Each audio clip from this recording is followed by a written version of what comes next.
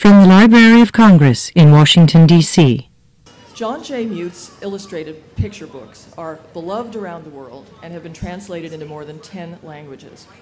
A native of Ohio, he had his first one-man exhibition of paintings and drawings at the invitation of Wilmington College when he was 18. He studied stone sculpture in Japan. He has received many awards and extensive critical acclaim. His book, Zen Shorts, was named a Caldecott Honor Book and spent 41 weeks on the New York Times bestseller list. Mr. Muth lives in upstate New York with his wife and four children, where he spends time chasing the clouds from his brushes. Ladies and gentlemen, Jon J. Muth.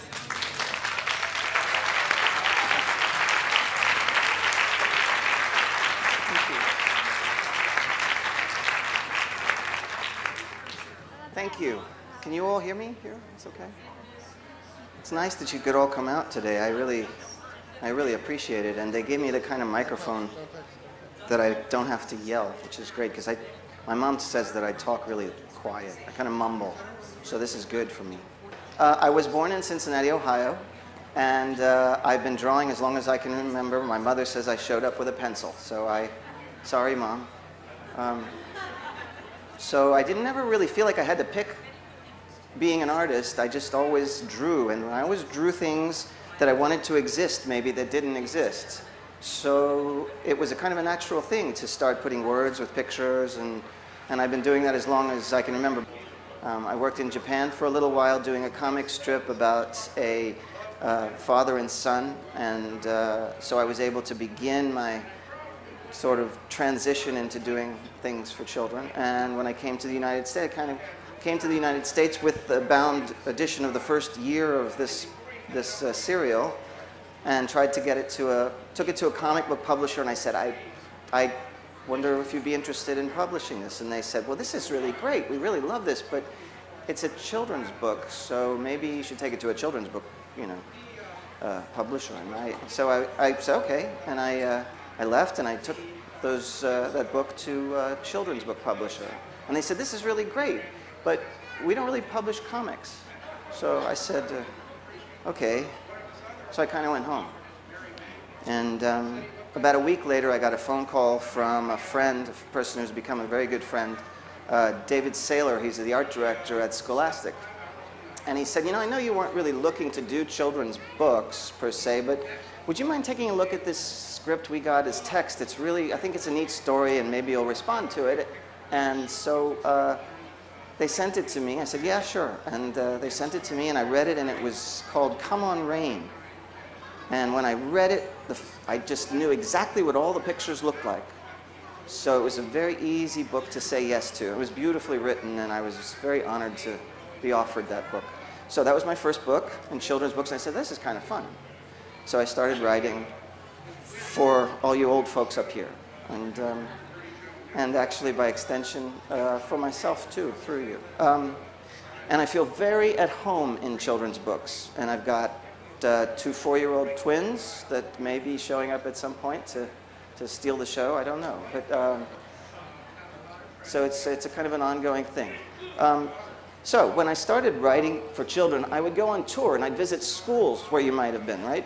And on the first book I wrote that, that I did myself, um, writing and illustrating, called The Three Questions. Uh, thank you. Um, uh, thank you very much. Um, that was from a story written by Leo Tolstoy. And I was very lucky to sort of sit on the shoulders of that giant for that book.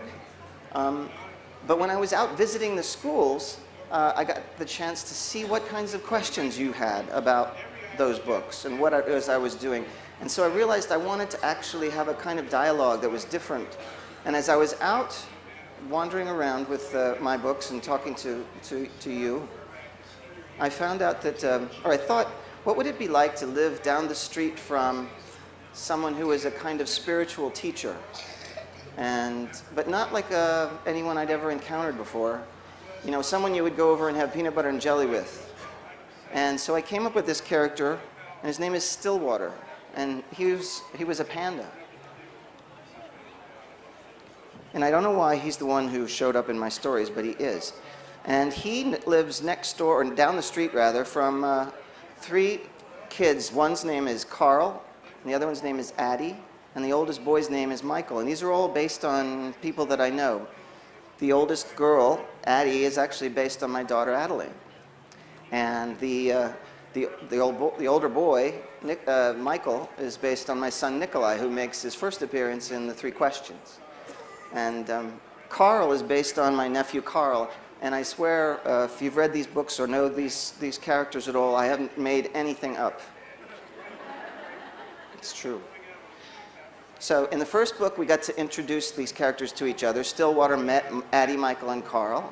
And then in the second book, the, the four of them have an adventure together where they go and meet this older lady who needs a bit of help. Her name's Mrs. Whitaker, and, and they find out that maybe Mrs. Whitaker can actually help them. So that was kind of neat. That was fun.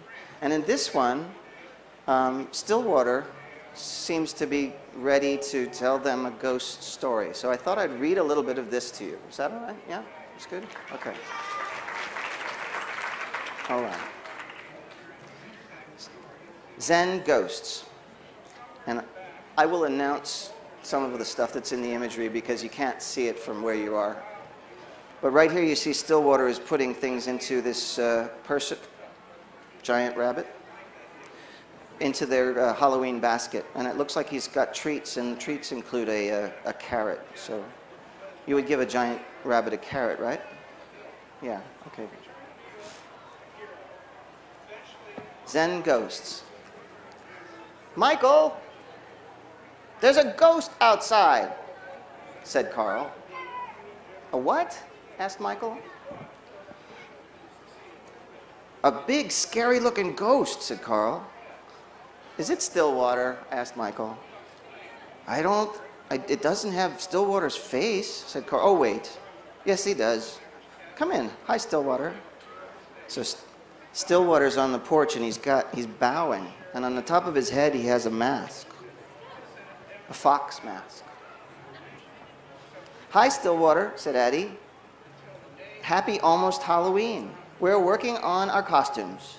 I'm going to be a moon princess. What are you going to be? And Addie's coming down the steps. And Carl's welcoming Stillwater in. I am a ghost, said Stillwater. What are you going to be? He asked Michael and Carl. I'm going to be a monster, said Carl, with powerful atomic heat ray and. Oh, so with a powerful heat ray and atomic breath, I will cause awesome destruction. I haven't decided what I'm going to be, said Michael. Either an owl or a pirate. I like owls and I like pirates.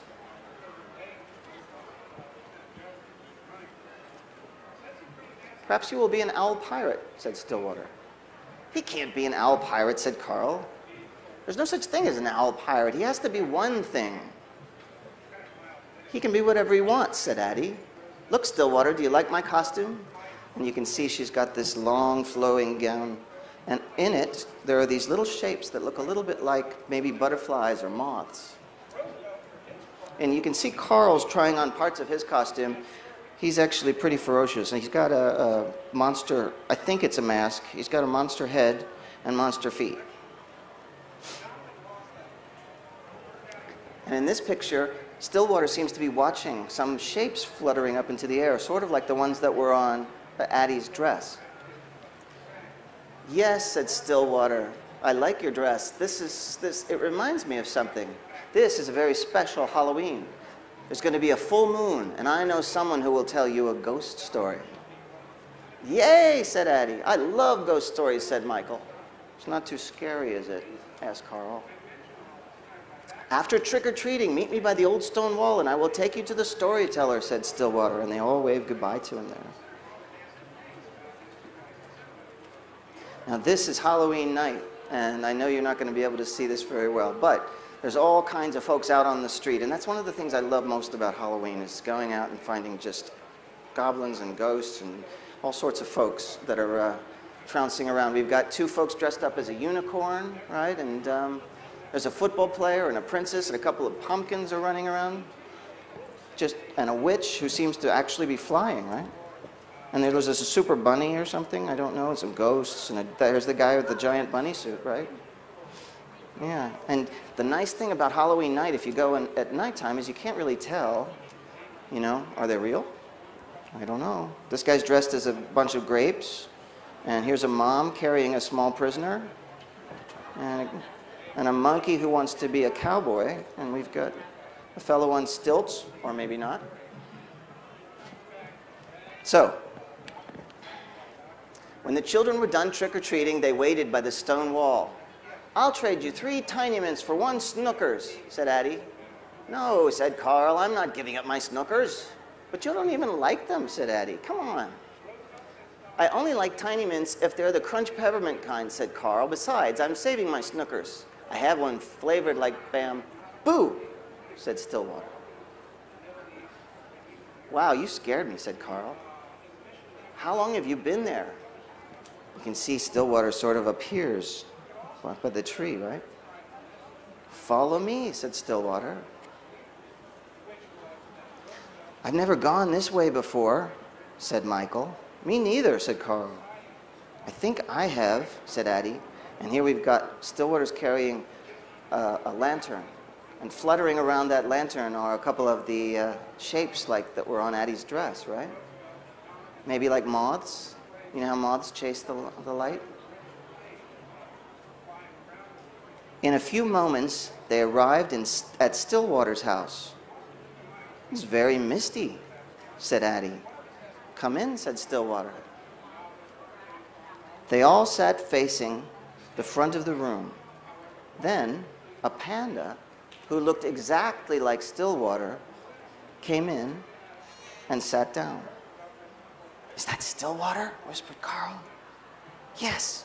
No, no. Shh, I don't know. Shh, quiet, whispered Michael.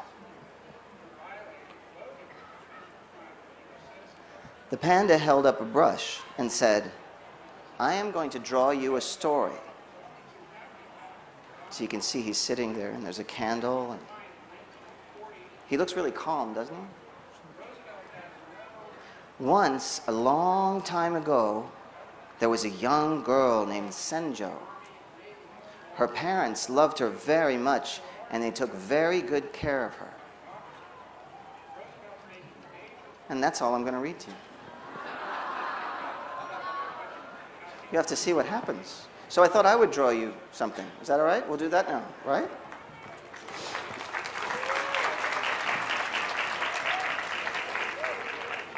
Now, when I'm painting, I, I, I, like to draw and paint in a lot of different ways. Uh, one of the ways is to, uh, one of the ways I like to get started in the morning before I begin my little drawings is to work very large. And I use big pieces of paper. Usually I put them on the floor. And I thought I would bring special brushes today to show you guys. And I, like I said, I like, to, I like to work really big. So I brought some of the some of the brushes. This brush is from Japan. And um, he's kind of a nice brush. Work, I, I like working with him. Uh, there's also, this is a brush that was a gift. And this handle is made of stone. It's made of jade. And, you know, my brushes are kind of like brothers and sisters. Sometimes I get along with them, and sometimes I don't. So it's good to bring several along. But you would think this was a really heavy brush, but it's not. It's balanced just right. And just so you can have an introduction, we've also got this guy. And this has goat's hair, so he's very floppy. He's very soft. And all of these other, uh, these two brushes are from China. And um, so often I'll begin my day by doing large movements uh, with a brush and ink so that I get my whole body involved in drawing the pictures because it's a lot of fun. Even when you end up drawing little pictures, it's nice to have a sense that your whole self is in, involved in the picture. And that's one way to do it. So let me start with, um, I think we'll pick the medium sibling here. Give me a second so that we don't uh, splatter everyone. It's a little messy.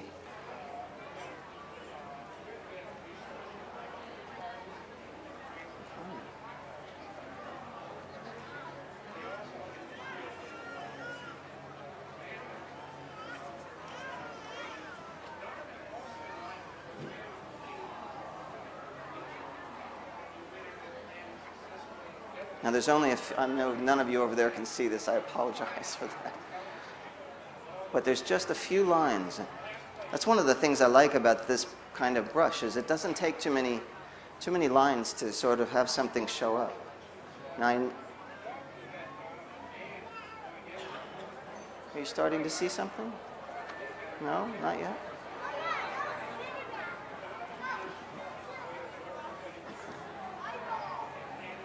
An eyeball. No, not an eyeball.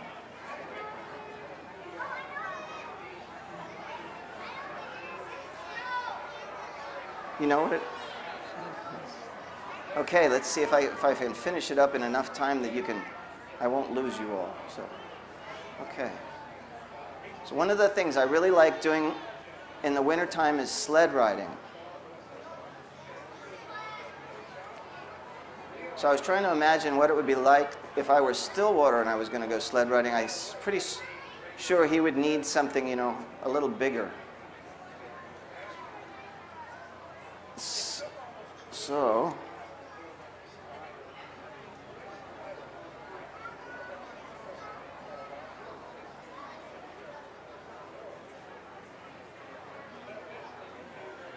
there we go. Okay.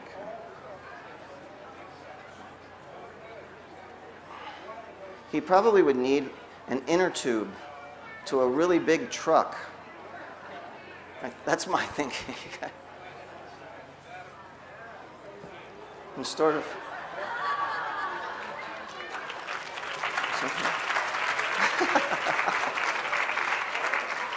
So, just uh, kind of. So you sort of get an idea of what's happening here. Yeah. Okay. Right. Thank you. Um, so what I thought I'd do now is maybe take some uh, questions. If anybody's got, yes, over here. Yeah. Um, do you know what the, uh, where do you get the name Stillwater from? Where did I get the name? That's a great question. Where did I get the name Stillwater? Was um, I I came up with Stillwater because I'd done a picture of a panda wearing a very fat pair of pants, and I had no idea what it was about, but I thought it was it made me laugh, so I put it in a drawer. And when I thought of that character, I wanted to know what kind of character would this be that I wanted to talk about. You know, who, what, who's the spiritual teacher I wanted to live down the street from? And I thought he's probably a Zen teacher. And, um, and I started to think about what Zen teachers keep in mind and how they clarify things and how when you've got a puddle that is still, you can see reflections, right? But if the puddle's moving, you can't really see as well. Your mind is the same way. If, if your mind is still, you tend to be ready for what's coming. But if you're agitated and you're worried about what you did here and what you did there, it's harder. So still water seemed like a pretty good name for a Zen panda. Thank you. Thank you. What was your inspiration for Ku? Uh, Ku is uh, Stillwater's nephew, and he speaks only in haiku. Um, and he's in the second book. Um and he may come back. Uh, I am a very poor Zen student, and have been for a long time. So, uh, but I spend I spend a lot of time near in a monastery that's uh, nearby, and uh, my family visits there, and so. Um, and yeah, Ku was just someone I wanted. I knew Stillwater had relatives. I just he just showed up. So in my drawings. Thanks for the question. Um, are you gonna make any more uh, series of uh, Zen things? Am I going to make any more? Hmm. I don't have any plans. I know I want to do Zen Snow, but after that, I, I will have to sort of see. I don't. Okay, thanks. Yeah. Thanks for the question. What does haiku mean? Ah, okay. What does haiku mean? Well, in Japan, there's a form of poetry. and It's very short, and it usually has 17 syllables, and it's called haiku. And I used the play on words in, in the second, in Zen Ties, and I had Ku show up, and Stillwater says, Hi, Ku. And did I get that? I beg your indulgence. um, um, so I thought that was a kind of a nice way for Ku to speak would be to use the idea of the 17 syllables. I was not very strict, but I was, uh, I tried to be at least uh, in the spirit of it. Do we have, yeah? Do you write all the time? Do I write? Actually, I don't. I don't. I, I write on, you know, little bits in different books of, I mean, drawing pads and stuff. But I don't write all the time, and I wish I did. I, I, my writing would get much better if, if I did. Thank you. Thanks for the question. Well, I, I kind of think the books that are available for children um, that are a- age appropriate, there are some really wonderful contemplative kinds of books available, but I like all kinds. I like silly books, like Mo Willems' books are hilarious to me, and I think reading needs to be a whole feast of different things.